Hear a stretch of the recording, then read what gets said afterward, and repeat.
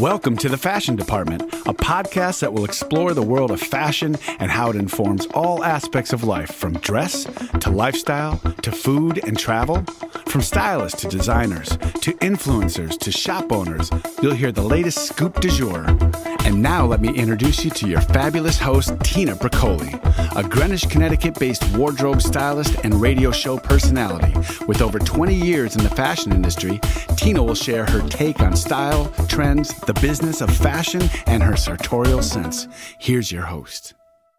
Welcome to the fashion department. I am so excited. I am in studio today and I have uh, two very special guests with me. And we're going to be talking about a little bit about the business of fashion and one of my favorite topics furs, as in luxury furs. I have Nick and Jenny. I have Nick Pologeorgis from the company Pologeorgis, a company based in New York City luxury outer brand started in the 60s by Nick's dad. So it is a family owned business. And they now have a brick and mortar store in Greenwich, Connecticut. Nick and Jenny, welcome back to the fashion department. Uh, thanks, Tina. Nice to see you again. Thanks for having us. Sure. Thanks for being here. And by the way, if you're listening to this episode and you haven't heard them in the last episode, pause now, go back, scroll back, and listen to the first episode because it's great. And you're going to want to hear some of Nick's stories. So um, if you have listened, stay tuned, listen for more. So, all right, let's get into it. Um, Nick, tell us a little bit about the family business. Um, your family is originally from Greece. Your dad uh, started this this company uh, and just sort of working in the business, and then eventually you took over. You went to college, and then at some point made that decision to uh, join the family business. And are you, by the way, are you the only son? I'm the only son. Okay, Yes. and you have a sister. I have a sister that's in the business, another sister who's not really. She's helping me now in the business, but Okay.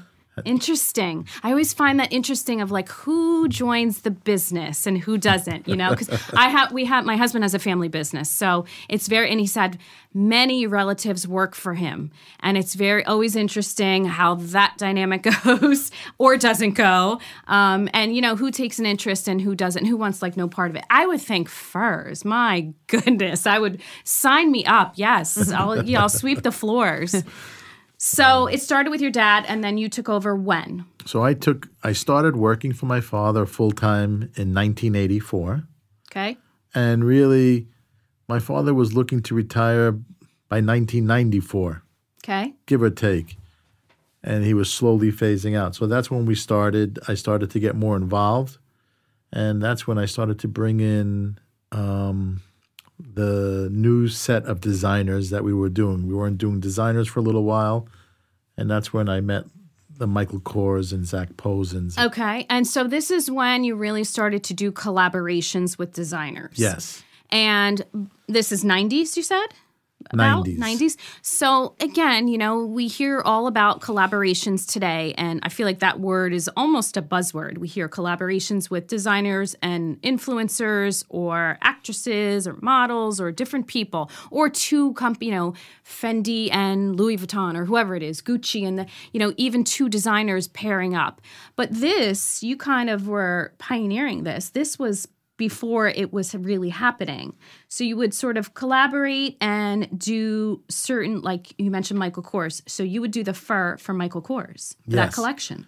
we would do the fur for Michael Kors. He would sell it as part of his ready-to-wear line, and at the same time, then we would try to sell it and show it to the department stores, Okay. Neiman, Saks. Because you were not direct to consumer yet at that time, or were you? really I really wasn't. I mean, we had friends that would buy and Right. a little bit, but we didn't we never really tried. Our main goal was to sell stores. Okay, right. That makes sense. And uh, so, what stores were you in to start originally? Neiman's, Saks, Nordstrom's, Bloomingdale's. The big ones. Yeah. Okay. And then you made the jump to Greenwich, Connecticut relatively uh, recently, I want to say. Why Greenwich? so Greenwich really was because of COVID. So in 2020, all of a sudden, I was asked to shut my factory down and couldn't do anything. Everyone had to leave and live at home. Yep. So it was difficult. I mean, we really make our own products and I make products to sell in the winter, and it takes time. So I was sitting at home for a while. Finally, we started to go. I had a small team, and I bring him to start making coats. And now comes the fall, and it, it's in October, and I started getting calls from certain stores, but only stores where people were going to. So one of these calls came from Aerin Lauder.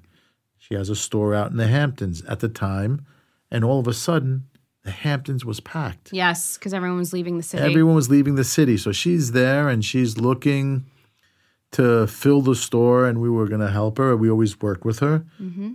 And at the same time, I've been thinking, where do I go? Everyone's going to the Hamptons, I'm thinking. Right. So I, I'm like, oh, wait, I'm thinking about going out to the Hamptons, Aerin. What, what's your opinion? Just figured, get an opinion. She's like, wow, you know, you have such beautiful things. You have to be in Greenwich. I mean, everybody I know is moving to Greenwich.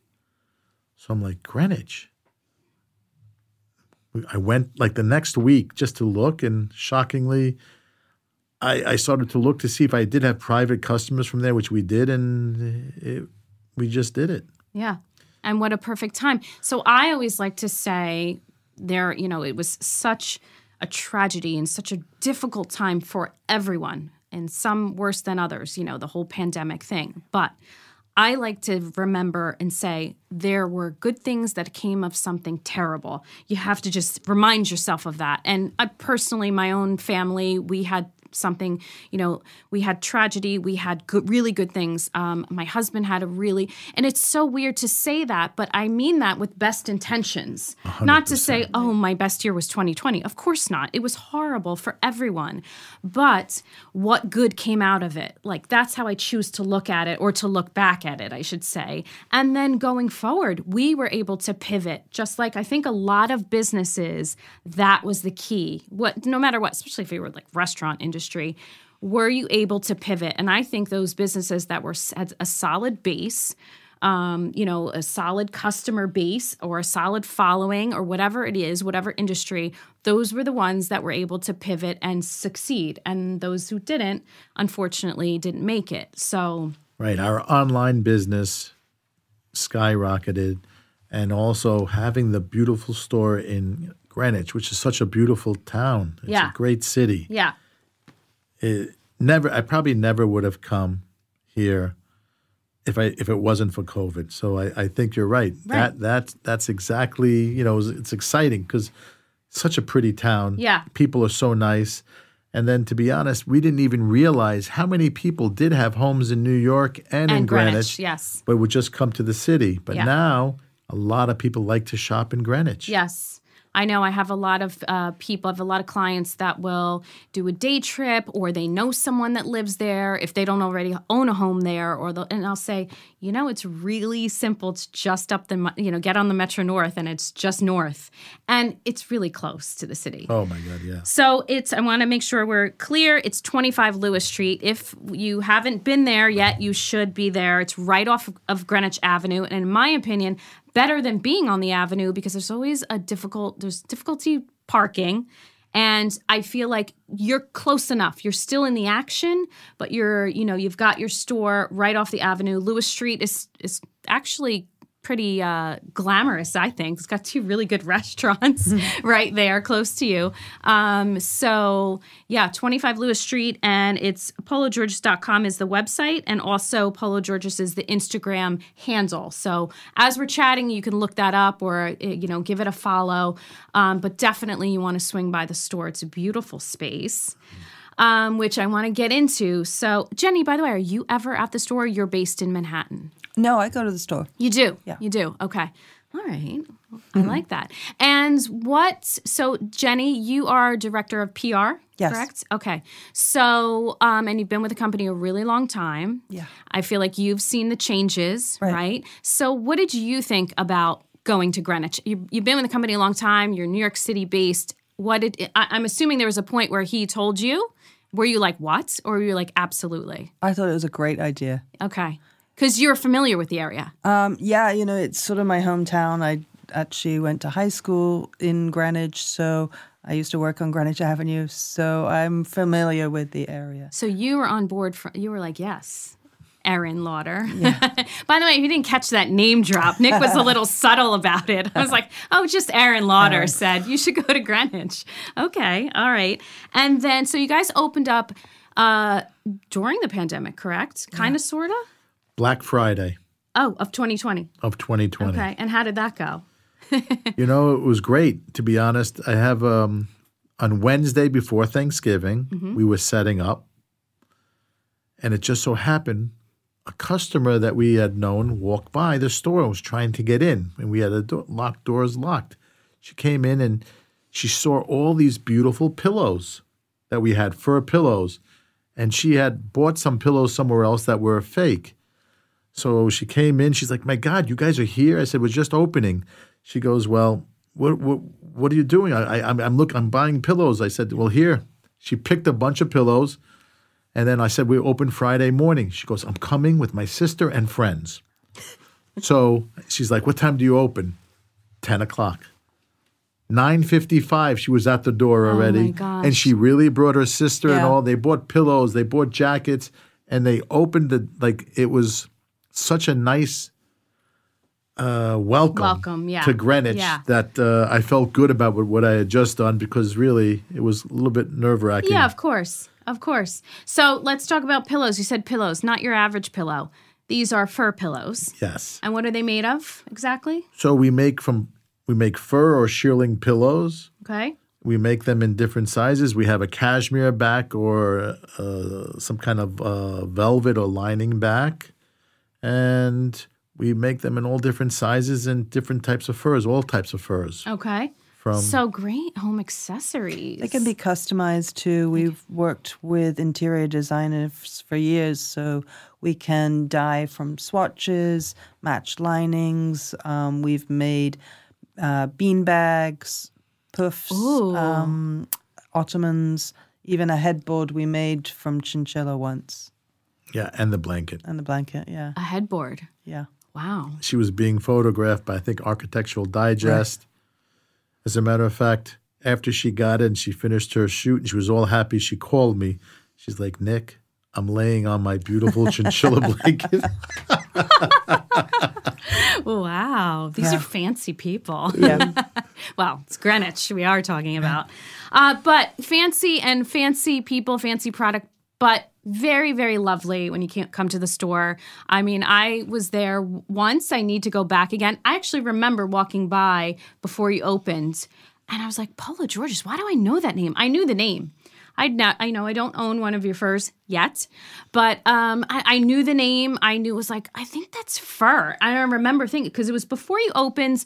I don't think if you had signage or something, s- or maybe someone told me. I don't remember, but it was definitely before there was any product in the store. So I don't remember if, I don't know if you had temporary signing or I probably asked because I was doing a radio show at the time and uh, the first selectman used to be there all the time. So I would always ask, what's going in over there? What's going, you know, I needed to know about the businesses coming and going.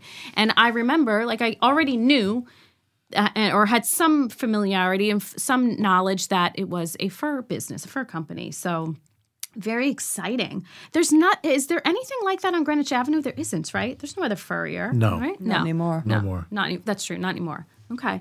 Well, I have to say one of my favorite things about the store, besides all the fabulous product, is the uh, warm feeling, the warm welcome when you come in. You know, I don't know how often you're there, but you were there, and I saw your interaction with clients when I was there. You know, I was with other people, and I like how you you knew a lot of you know a lot of people, obviously.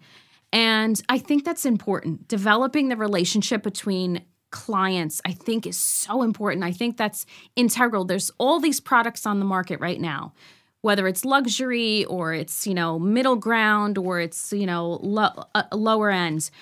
I think no matter where you shop or what your budget is, it's about the relationship. You know, I of course I'm going to say this. Yes, I'm a stylist, so I don't ever want to encourage people to online shop, but I get it. There's a purpose for it and there's a place for it. It certainly is convenient, absolutely. Um, however, there's nothing that replaces a one-to-one relationship. You agree? I agree. Also, you know, for furs, since you're buying an expensive product, Yes. you come in, you buy it.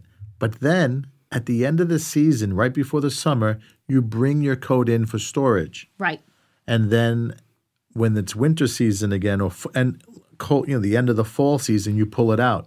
So the interaction is constant, even if you don't buy one year and you have coats to store. Right. So you're always talking between you and your customers for years, almost like you know you go to a dentist twice a year. Yeah, yeah, yeah. Or uh, depending on the person, the fur is the same thing. You come in, drop it off. There's a problem, you call right away. They call. So there's always interaction to take care of these beautiful, precious furs that could have been from your mother's generation or grandmother's, and you just kept going to the same place or changed and continued to, Right. to deal with these with everybody. So there, I don't think there's any other article of clothing. I'm just thinking, running through my closet, where that would happen. You know, maybe shoes. Okay, you might go and get them repaired, the shoemaker, but they're Maybe not jewelry. You get maybe diamonds jewelry, right? But they're not storing it for No, you and not- cleaning it. No, really, it's it's almost like going to something in medical field where you go every year. yes, There's no other place that you do that. right. No other product, no other place. So No. that's very special. So that's how you build even you have a stronger relationship. You get to know your customers better. They get to know you. right. You know them from for you, know, you see their families, you see their grandchildren or children. Right, right. And they get to see new product hopefully when they come in and maybe change and morph and, you know, their style changes. So I feel like you have something for everyone. Let's talk a little bit about um you don't just have fur. You've got shearling, you have men's. We have men's, we have shearling, we have double face cashmeres or with fur trim. We have a lot of accessories, little bags, Uh, kids? scarves. We do have some kids. We have to see where we have to see where we are right now because we sold through what we did have, so Okay. we have to redevelop again. But we did do like even for Greenwich when we first came out, we made mommy and me coats. Oh, love that. That's very Greenwich. and every season we have a new line of accessories. Um, we have tons of knitted hats, uh, knitted gloves, mittens, The earmuffs. Um, earmuffs are huge. Fingerless gloves, which yeah. I own, which Yeah. I love. By the way, those were the warmest things ever. oh my God. I mean, I didn't think I would be cold, but I remember I was wearing them and my, my hands actually got sweaty. I was like, wow, these are really, really warm. Like, I need to have these on the coldest day. Um, it was really, and I love how you do all the colors too. Did lots of things, earmuffs and ha- hats. You have hats too, right? Yes. Yes, Yes. the Hats. knitted hats with the little bauble on top. So lots of accessories. Um, homeware, you've got the throws, those beautiful luxury throws, right? And Yes. pillows. What else do you have? I feel like these are great gift giving ideas as well. Yes. Are these things you carry uh, all year? Yes, always there. Okay, always there. Um, and do you get more of stuff like come the fall? What's coming for fall? Do you get do you get certain things certain times of year, or you kind of carry the same thing throughout? No, we change every season. Okay. So we have basically we'll do like two seasons. So we'll have lighter colors and lighter weight try to items for the spring. Right. And then we have the fall winter season, which is our main season. Right. So I mean, even you know, we like we said, we're doing the furniture, the the throws, the bean bags, the poofs. Mm-hmm. We're making we make ottomans, so different things for the furniture part, mm-hmm. and then for ourselves, we'll have different different items that we bring in lighter weight in September, October, maybe through November. We have some a few leather jackets, some suede jackets. We have um, lighter weight shearling, lighter weight fur, and then we move into the heavier furs as the season goes on, Okay. and it just shifts a little.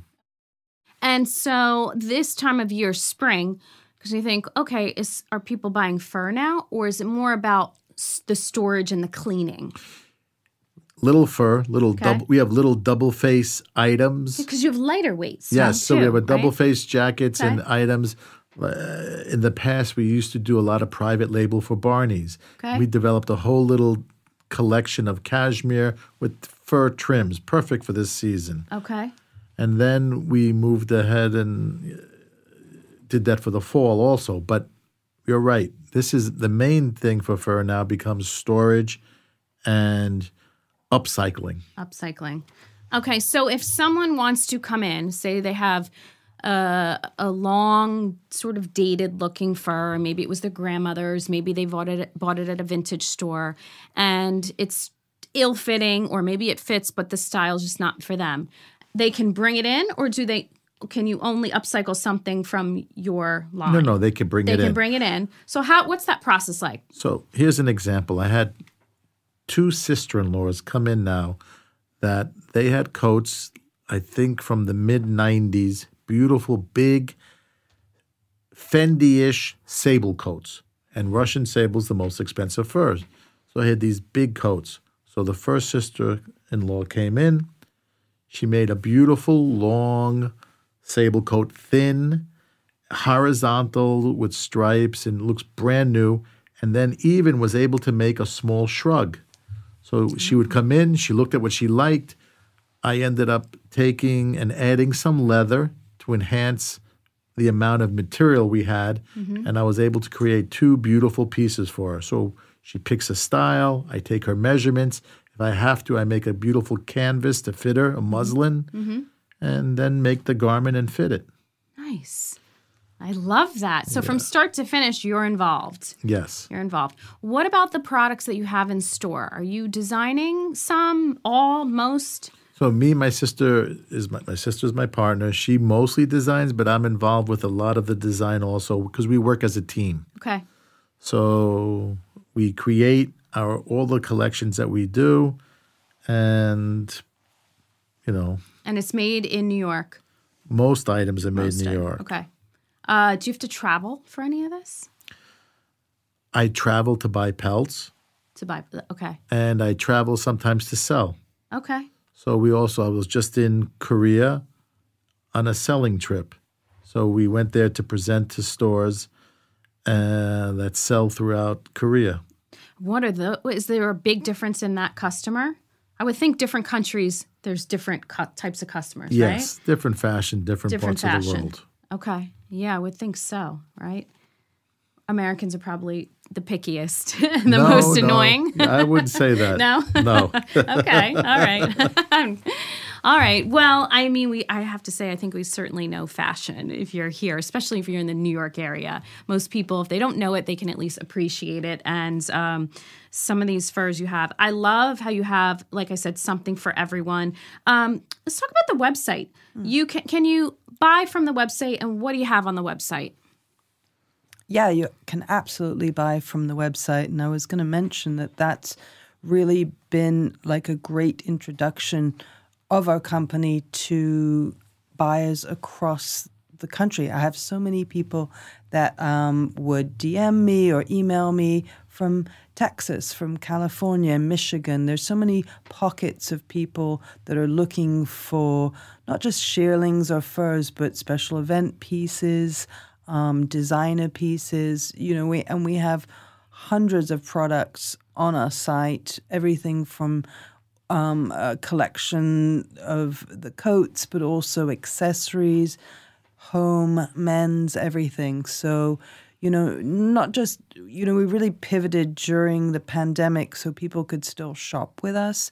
And, you know, there was the whole thing about people um, eating outside Yes. was a big thing. So people wanted to stay warm while eating out, and whether it was at restaurants or at home, at the fire pits, whatever it is, you know, people wanted to stay warm and cozy. And it was perhaps one of our um, most positive years that we learned about like different parts of the country, what different clients are looking for. So uh, that's that's been a great point to get us across to new consumers. Right, right. Because did you find that over the pandemic, the shopping trends changed?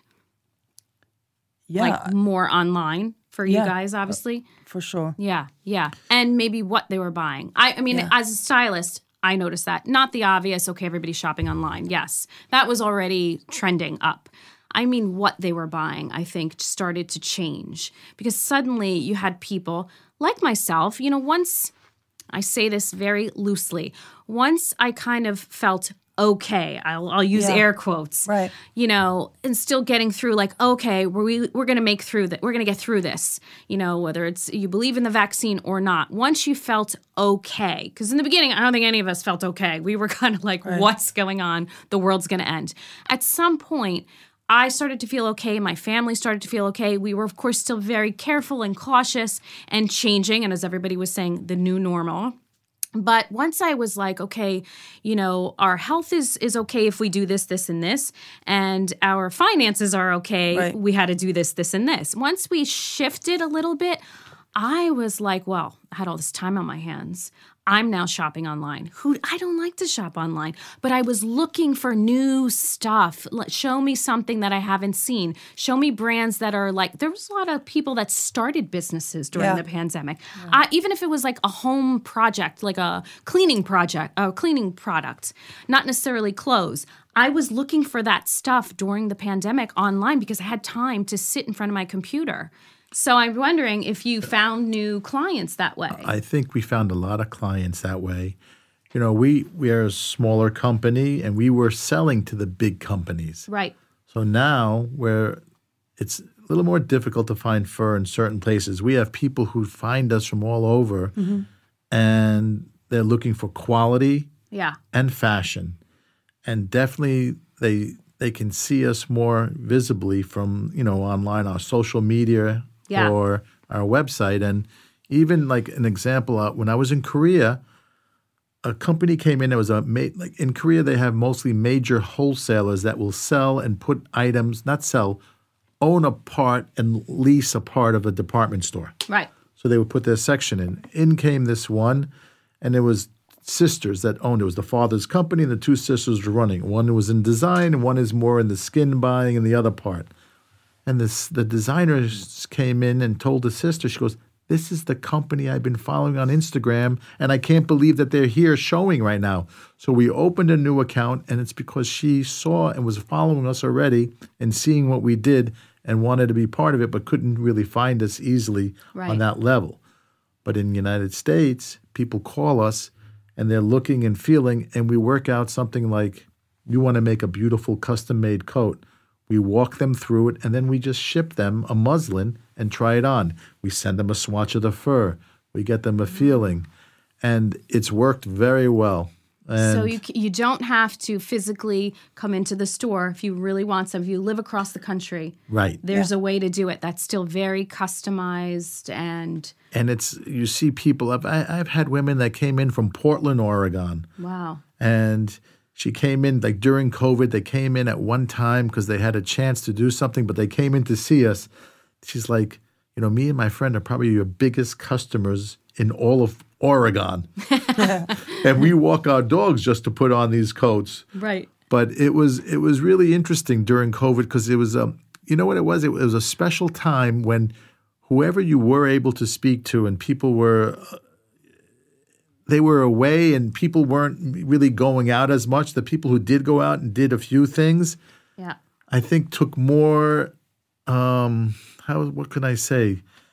They looked into the detail of things and talked to people more. It Yeah. became like it, it wasn't like the, the daily rush of Right. running right past somebody. Right, because we were forced to slow down. Right. And and I think like most people had to kind of reset, reevaluate. All of a sudden people realize hmm, maybe I shouldn't take things for granted. I mean, personally, I I started to make a joke. I started to post pictures and stories on my Instagram of me waiting for the UPS or the FedEx guy and what outfit I was wearing. Because that became, you know, it's did it as a half of a joke, but I'm a stylist. What am I going to show? Where am I going? If I get dressed up, I was going nowhere, and neither was anyone else. So I thought, all right. So it started with my husband took a picture from the back of me. I was sitting on my front steps with my coffee because I had shopped online, and I said, you know, waiting for my daily visit from Mr. FedEx, and I had fabulous shoes on, and I had a really cool uh, uh, long sweater on. So I made an. First of all, I had to start making an effort in putting myself together. It was driving me crazy. I'm not a sweats pants sweatpants kind of girl. I never will be. Um, so for me, I was like, what do you mean I'm staying in my pajamas all day? Like, that's just foreign to me. Um, so at some point, I was like, nope, enough of this. I'm getting up, I'm getting dressed, I'm doing my hair, I'm doing my makeup, even if I'm just walking around my house in a circle. Um, so, but it helped. It helped me get through and cope. So, but I did start talking to the FedEx men that normally I either don't see because I'm not home or I'm just waving and they're, hey, how are you? Do you want a bottle of water? How you doing? You know, we would kind of talk across the lawn. So I, I understand what you're saying because it forced you to slow down in a very good way. So Agreed. interesting. Again, something good comes out of something very horrible and bad. You have to take those positive points. Um, all right, I wanted to talk a little bit more about. Um, so, what were the? Do you st- first of all? Do you still do collaborations with designers? Yes. Yes. Okay.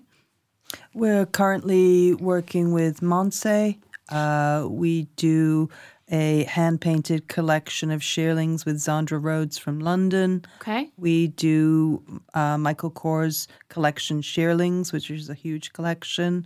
Um, we are working with Bibhu.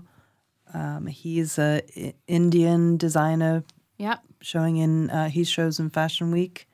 Um, and a few other designers. Okay. Yeah, we, we make things with the different we we do with we do we work with other influencers or creative directive girls. Right. Right. Right. Um, uh, and like you mentioned earlier, one of the girls, Kelly Be- Bensimon, you had a recent collaboration with her. Um, is that that collection's in store now or will be? Will be in September. Will the be in new September. one. The new one. Yeah, this will be our sixth collection Wow. with Kelly. Wow. Wait a minute. I just thought of something. One of my favorite influencers. I think maybe you did something with Olivia Palermo. Did you do Yes. Something with her. Yes. I love So we work with Olivia. She's great and Gorgeous style. I Yes. love her style. chic, very chic. Yes, chic. very chic. Yes. Okay. And where she's a close friend of the uh, company. Nice.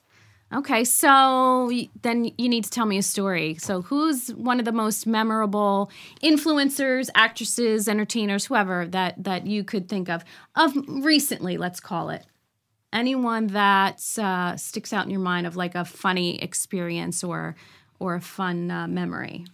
How about if I give you one from years ago, which was funny? Okay. It was the first time I had dinner with Michael Kors.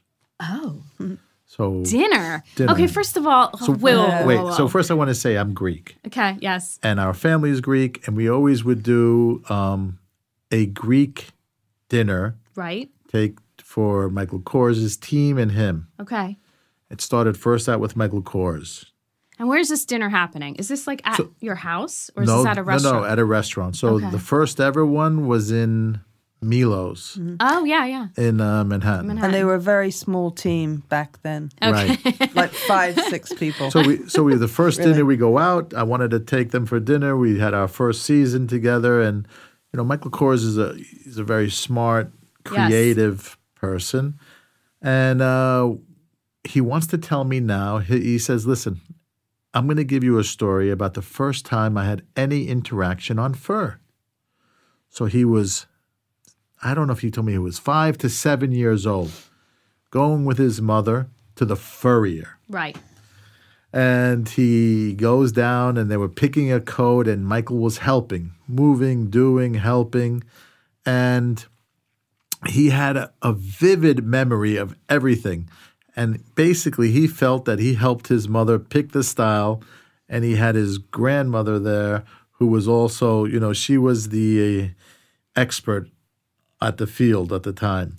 And he helped his mother pick this style, very sexy. And I, I can't remember the exact detail about what it was. It was, you know, what what what they ended up buying, but it wasn't too long a coat. That's Okay. for sure. And at the time, people they they weren't wearing such a long coat. I'm going to fast forward now. We finished the story. It was great. He goes, I have another part to the story, but we'll do it at next year's dinner.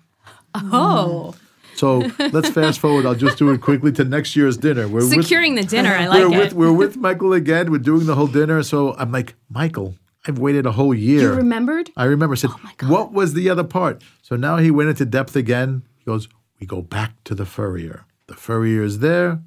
Big problem. The coat we picked for mom, lengths have now dropped to the floor. So this coat is too short. So now he helped his mom pick out a beautiful border. Now, if you think about some of these vintage coats where they have, like it would be, it could have been a beautiful leopard coat, even say, or whatever it was, and on the bottom they had rings of black Right. fox or something. Yep. So he helped his mother again pick out something to lengthen their coat and bring it to the floor because now everything was floor length. But it was a story. The way he said it again, Michael's, you know, he's he's an unbelievable spokesperson as Yes. he, say Funny. things. And he's funny and he's very, very knowledgeable about everything. Yeah. And it was a it was a great story. I'll never forget it the rest of my life. And that he had that memory from when he was a child. Yes, Wow. like seven, eight years old. wow. I, So- wa- I wonder if his mom still has the fur. Where's the Good fur? question. Where's the fur? We have to ask Joan. Yeah. Okay, we have to ask Joan. All right. Well, thank you guys so much for joining me. Um, before we wrap, I always like to play a little game. If you've listened to the podcast, I usually make my guests play. It's very easy. So Nick and I are going to play a game of this or that. Okay. So Nick, it's very simple. I promise you're going to win. Um, you're, I'm just going to give you two words, and you're going to pick one that just you have a stronger feeling towards. It doesn't have to be personal. It could be what you like. It could be what you like oh, uh, to see you know uh, on a woman. It could be an experience, whatever. Just whatever word, whichever word I give you of the two, you gravitate more towards. Okay, you ready? Okay, this or that, fur or shearling, Fur, mink or sable, sable, black or brown, black, plaid or stripes, stripes, coffee or cocktails. cocktails. All right, that's my kind of guy. Jeans or a suit. Mm. Mind you, he's wearing jeans with a blazer, so he's a little of both. Jeans, Okay. Cashmere or leather? cashmere, Hoodie or a vest?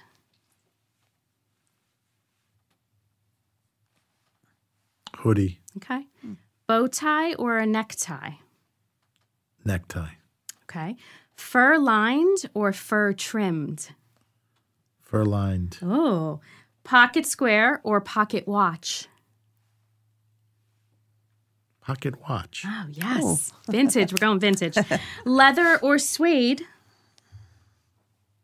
suede, It's a tough one. Beach or mountains? beach, Uptown or downtown? downtown. The city or Greenwich? Oh, I threw you a curveball. now I would say honestly, Greenwich. All right. I love that. Well, thank you, Nick, and thank you, Jenny, for Thank you so joining me in the fashion department. Once again, that's 25 Lewis Street is your location of your Greenwich store. Um, and it's pologeorgis.com is the website and the Instagram for you to look, see, shop, all the above. Favorite uh, DM is Pologeorgis. Thank you guys for joining Thank me. We'll see you you. again Thanks, in the Tina. fashion department. Thanks, Tina.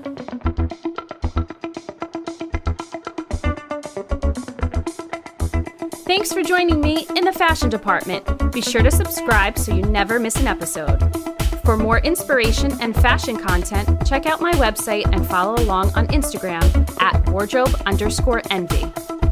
And a special thanks to the Factory Underground Studio for recording and producing this show. See you next time.